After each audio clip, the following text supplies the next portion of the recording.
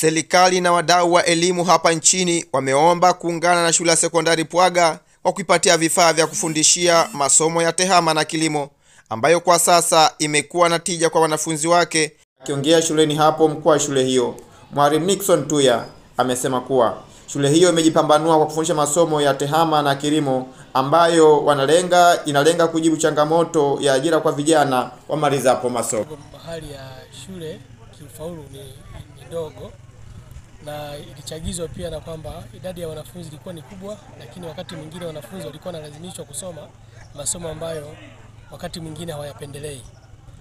Baada ya hapo kushirikiana na bodi ya shule tukaamua kuweka mpango wa kuongeza masomo ambapo tuliweka tuliongeza somo la kilimo ambacho tunaamini kwamba ni somo litakaloleta matokeo ya moja kwa moja kwa wananchi wa hapa, kwa sababu watoto wote ni watoto wa wakulima mahali hapa.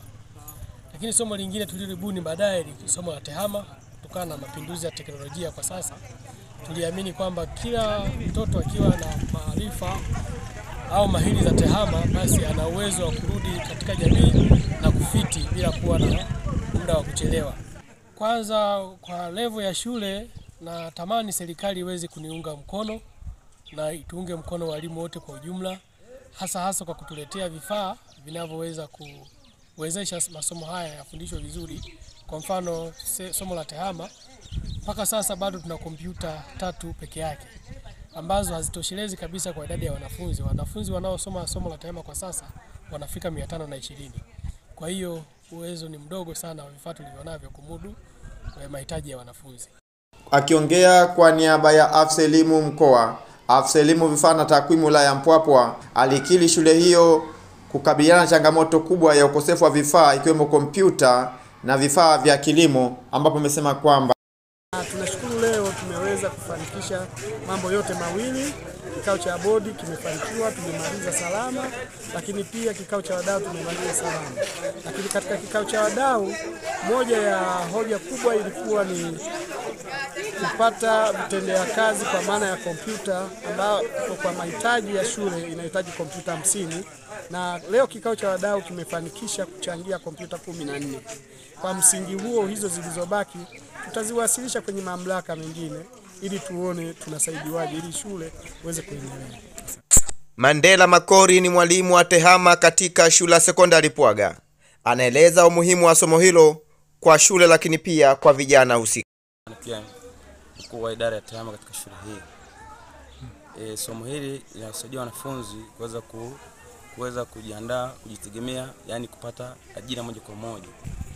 Na kitu kingine hapa shuleni tuna tunayo maabara lakini maabara haijakamilika. Iko katika nini? E, mwendelezo. Tunaanza kidogo, tuna e, kompyuta mbili lakini pia tunahitaji kompyuta hamsini. Naomba serikali iendelee kutilia masomo haya ya masomo ambayo yanaonekana ya masomo ambayo ya agriculture na ICS e, na masomo mengineyo ya ufundi, kwa sababu kupitia masomo haya inasaidia kupambana na ajira moja kwa moja.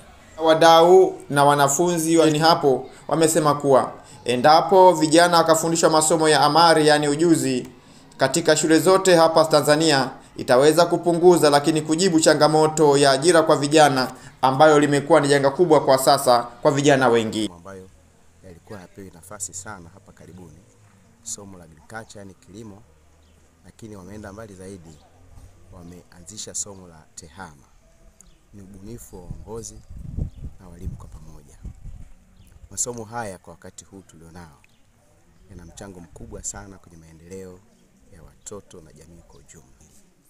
Yatafanya tunafanya wabunifu, jasiri na kusaidia maendeleo yako binafsi na maendeleo ya taifa kwa ujumla.